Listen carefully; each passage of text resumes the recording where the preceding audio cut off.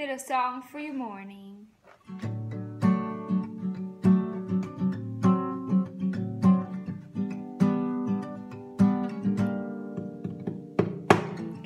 Kiss me.